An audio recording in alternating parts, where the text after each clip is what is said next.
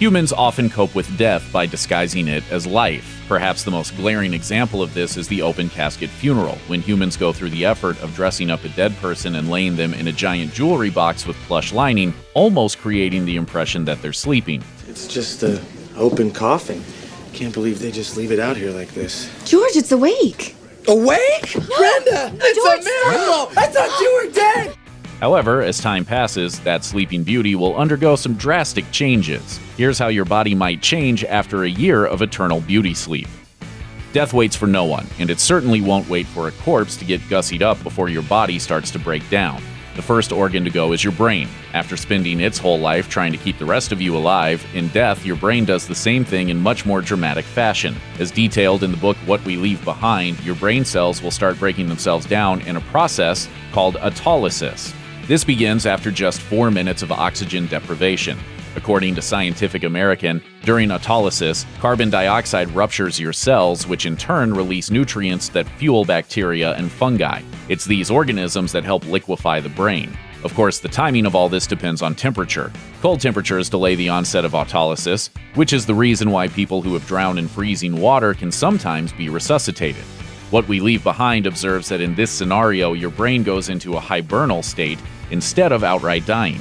So, theoretically, if your brain had thought of doing this in warmer temperatures, it would have stayed alive longer, giving you a chance to survive, too. However, once a human brain finally turns out the lights, things will start getting pretty funky. As Business Insider describes it, the fluid in your brain cells will leak into a puddle all over your final resting place. So keep that in mind before you spend thousands of dollars on a top of the line casket. The lid is titanium steel. It's lined with mink fur and it comes with free Wi Fi. It's what Pop Up would have wanted. Moving on from the brain, let's get inside what's happening to the rest of your body. The bacteria that typically aid in digesting food start feasting on the only thing that it has left to eat you. Hours into the process, they will eventually chow down on your gallbladder, unleashing a yellow green bile through your body, altering its hue. As hours turn into days, your body will start swelling and releasing some horrible substances.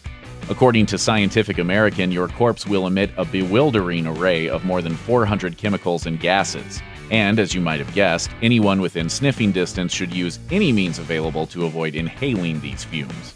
About three or four months into the process, your blood cells start hemorrhaging iron, turning your body brownish black. Soon, your cells lose their structure, causing your tissues to become a watery mush. After a little more than a year, your clothes will decompose because of exposure to the various chemicals your corpse produced. And like that, you've gone from being a sleeping beauty wearing your most beautiful ensemble to a naked mush of decomposing toxic goo.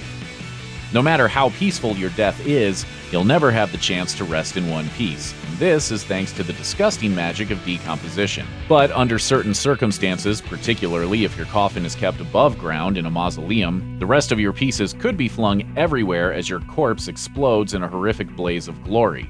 Josh Slocum, executive director of Funeral Consumers Alliance, explained to Vice that the casket becomes a literal pressure cooker. It reduces the body to a disgusting, chunky brown slurry and when that pressure reaches the coffin's tipping point, you have corpse juice spilling out all over the place. Slocum noted that there have been cases where this pressure is actually powerful enough to blow that little square off the front of a crypt. Slocum likened it to leaving a Tupperware container full of meat in your fridge for too long. After all, at the end of your life, you're basically just a giant meal for hungry microbes. Of course, if you don't want to slowly rot away like a rancid sandwich, there's always another option.